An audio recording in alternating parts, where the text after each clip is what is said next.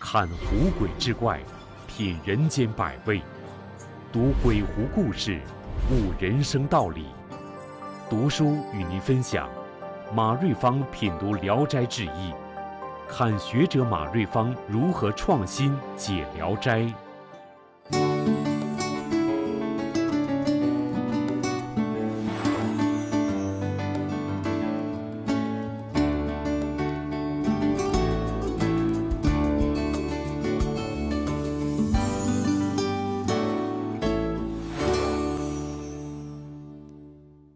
读本好书，听段故事。大家好，我是。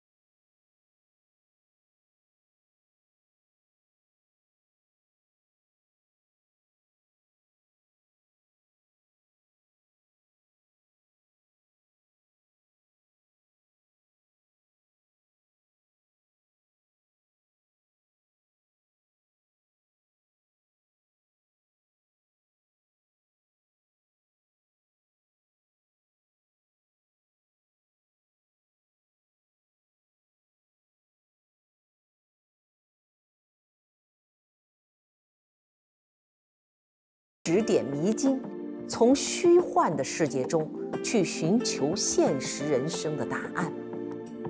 山东大学文学院的教授马瑞芳，他潜心研究《聊斋志异》四十余年，精心编选出了这一套《聊斋志异入门宝典》。全书分为五卷，他打破了《聊斋志异》常规的那种解读方式，创造性的以。鬼、狐、妖、神、人为主题来分别解读。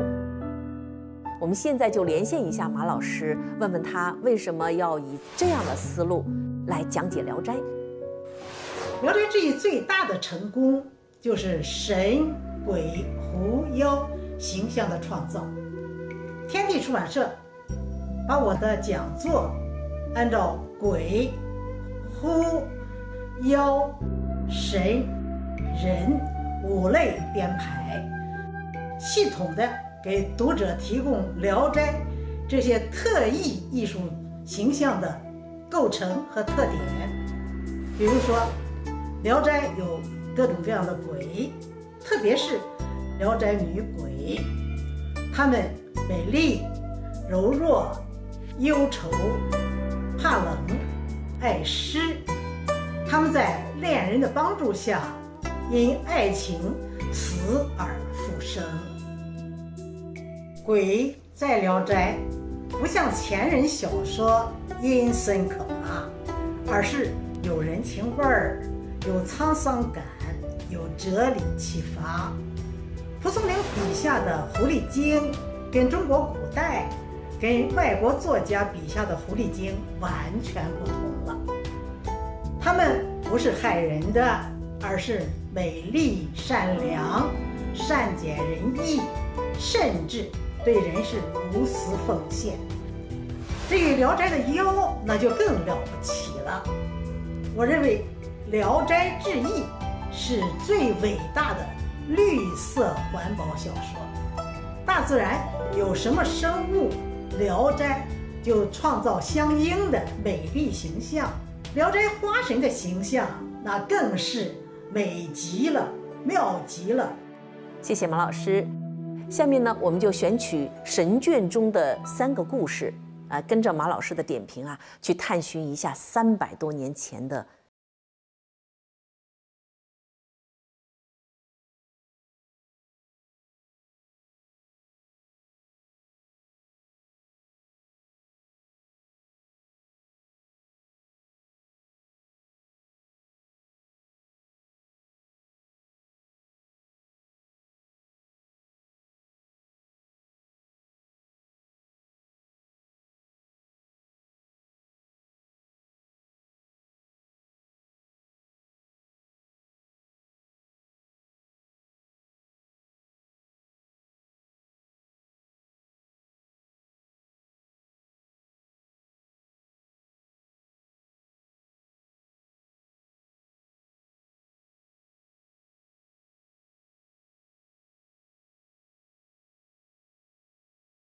他的诠释。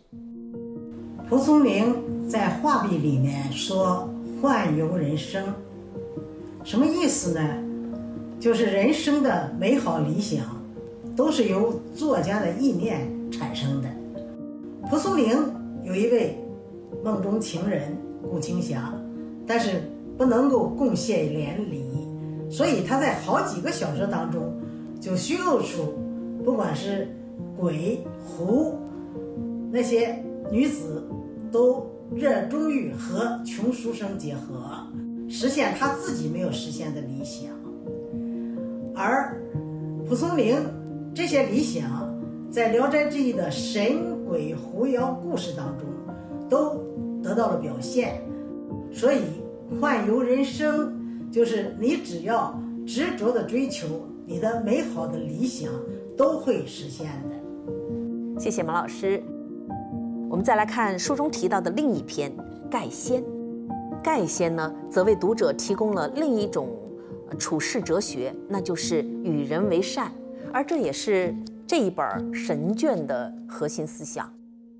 盖仙中的高玉成擅长针灸，无论贫富，他都愿意为他们医治。他在街上遇到腿上脓血狼藉的乞丐，便把他接回家，亲自给他针灸。而这个乞丐的真正身份是盖仙。为了报答高玉成啊。他就让高玉成体验了一番仙境般的曼妙世界，并且帮助高玉成逃脱了阴司的追捕。马老师就认为，在盖仙这个故事中，洋溢着一种劝善惩恶的思想。那怎么来具体的理解这篇故事？我们直接来连线一下马老师，听听他的诠释。人们常说，赠人玫瑰，手有余香。高玉成已经不是手有余香了，他救助一个脓血流离的乞丐，乞丐恰好是天上的神仙，不仅在高玉成冬天的花园里给他呼唤出鸟语花香的春天，还借着美女变夜叉的魔术，教育了一时心生邪念的高玉成。最后呢？又巧妙地帮助高玉成逃脱了阴司的追捕。盖仙给人的教义就是：不要以貌取人，要以善待人。谢谢马老师。我们还可以看到，马老师在解读《雷曹》这篇故事的时候，着重对岳云鹤到天上遨游时的情景描写做了细致的文本分析。他为我们揭示出其中蕴含的浪漫主义幻想和大胆奇妙的想象。马老师是这样写的：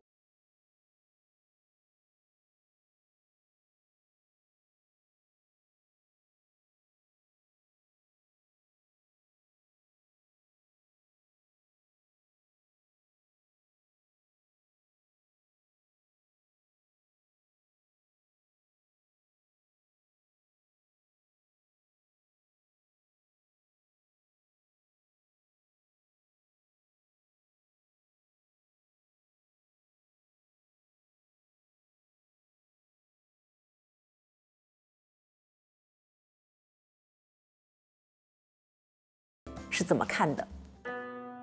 我有时说，只有二十一世纪科学家做不出来的，没有十七世纪聊斋先生想象不出来的。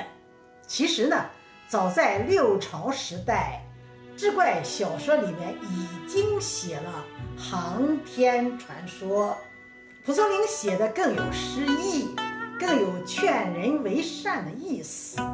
而且呢，六朝小说经常是简短的记述，而蒲松龄写的却有生动的人物、曲折的故事、深刻的思想内涵。这一套马瑞芳品读《聊斋志异》中，除了我们今天分享的画壁、雷曹、盖仙之外，还有很多的经典篇目的精彩解读，大家呀可以翻开一读。好。感谢今天和我一起共读好书，咱们明天再会。